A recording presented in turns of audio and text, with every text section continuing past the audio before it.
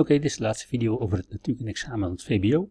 2024 tweede tijdvak. We zitten bij de laatste opgave Latin American Tower. Op 19 september 1965 trilde de grond onder Mexico-stad hevig drie minuten lang. Vele gebouwen stortten in, maar 182 meter hoge Latin American Towers IV1 doorstond de aardbeving zonder noemenswaardige schade. Hetzelfde gold voor de meeste lage gebouwen in de stad. Gebouwen hebben eigen frequenties die gemeten kunnen worden, Wanneer een gebouw tijdens een aardbeving begint te trillen in zijn laagste eigen frequentie, oftewel de grondtoon, kunnen er ernstige beschadigingen in het gebouw optreden.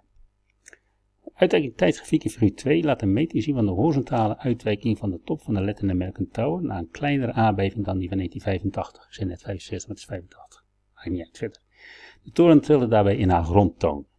Oké, je krijgt dus de verticale uitwijking en de horizontale tijd.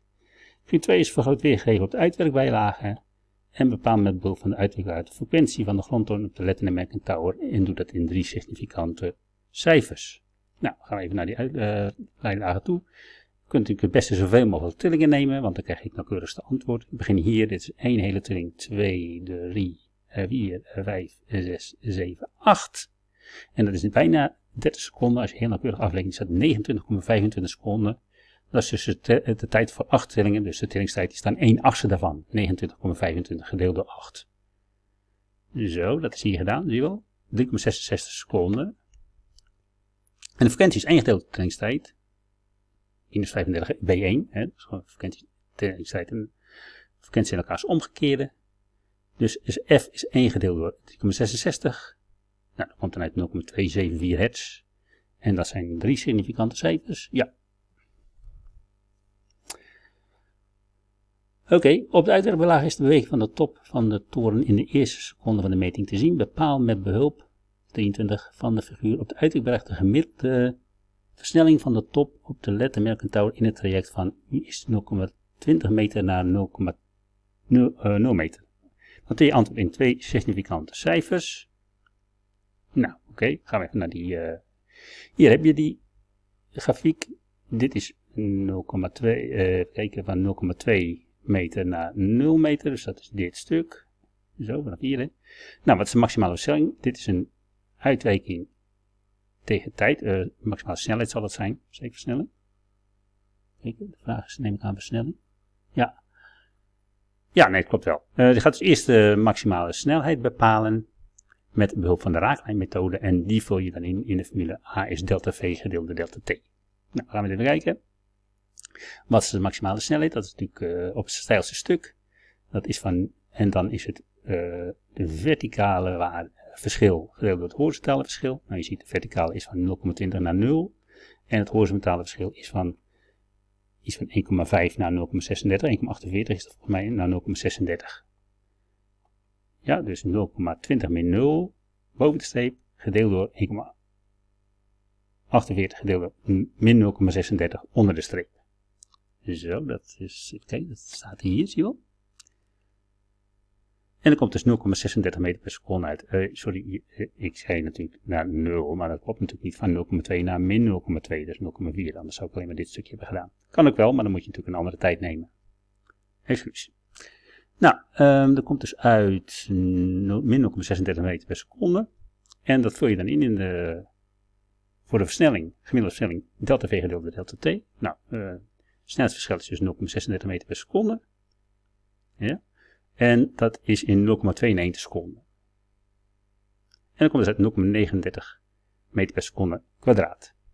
En die 0,92 seconden, dat is dus de tijd van hier tot aan het moment dat het plaatsvindt. Dat is daar. Ja? Dat is die 0,92 seconden, deze. Oké. Okay.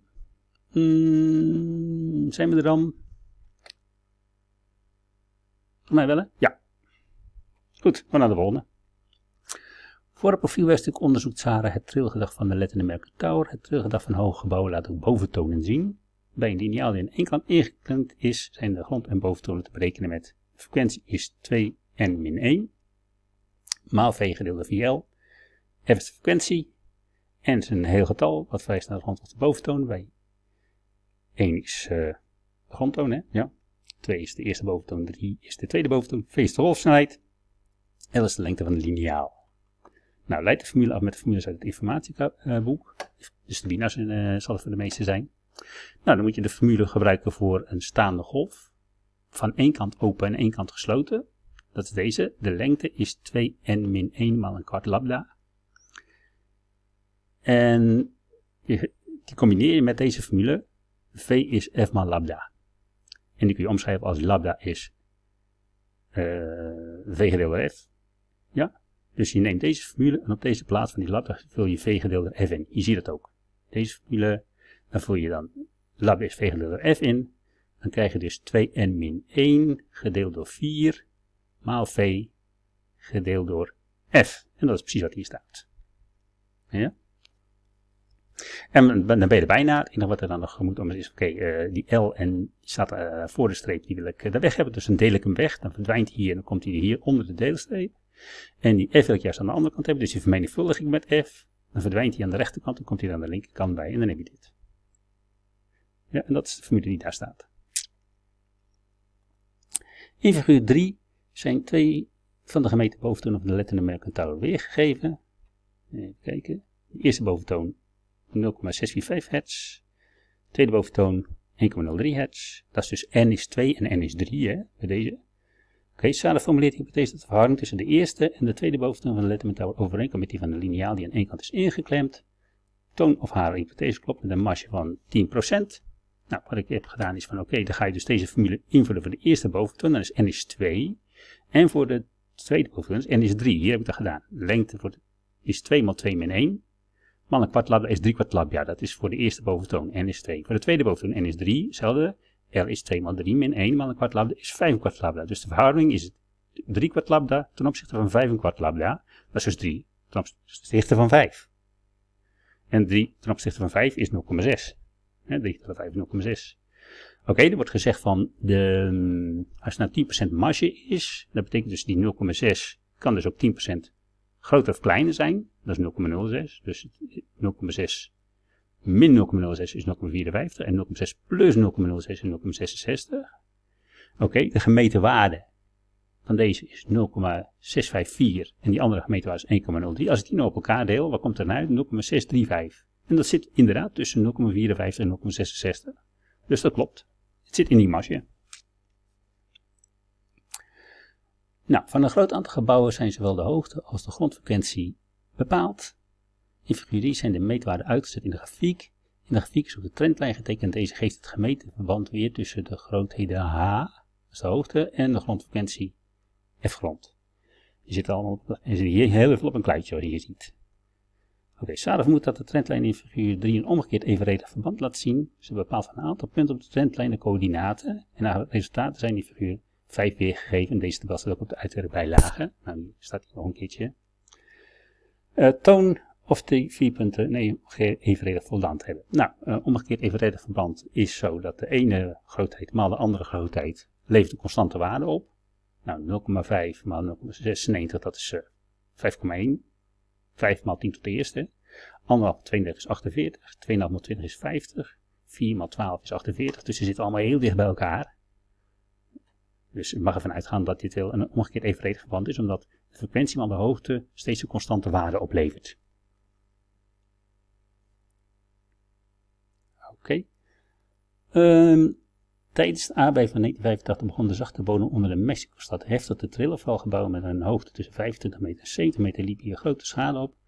Uit dit gegeven kan met behulp van de figuurlijke uitwerking worden bepaald tussen welke twee waarden de frequentie van de bodem waarschijnlijk heeft gezeten bepaal, gelegen, sorry, bepaal met behulp van de figuur op de uitwerkbijlage deze minimum en maximum frequentie en geef die aan met een verticale lijn. Nou, hier heb je dat uh, gedaan.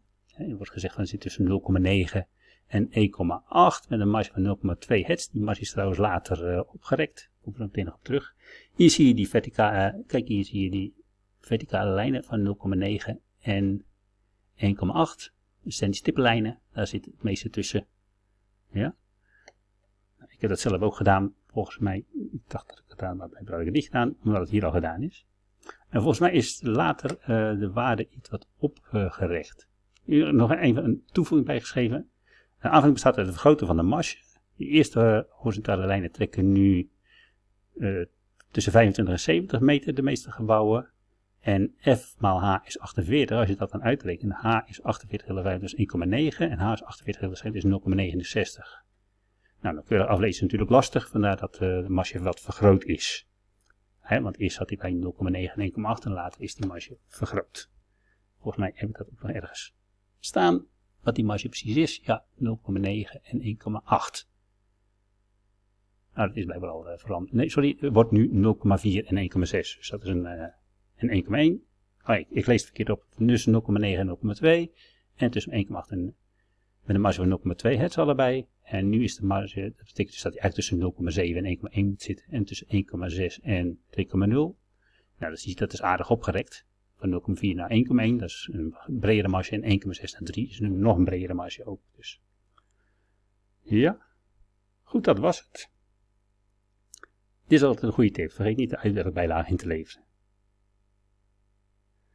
Oké, okay, um, dit was het. Zoals je ziet staat op de, dit kanaal, is zoals overzichtpagina, deze ook, van de afspeellijsten die er allemaal op staan. Uh, dat er nog veel meer uh, natuurkunde dingen op dit kanaal staan. Misschien als je later nog verder gaat studeren, dan uh, misschien nog eens een keer leuk om eens een keer terug te komen. Als je nog examen moet doen, dan wens ik je veel succes. En sowieso bedankt voor het kijken en tot ziens.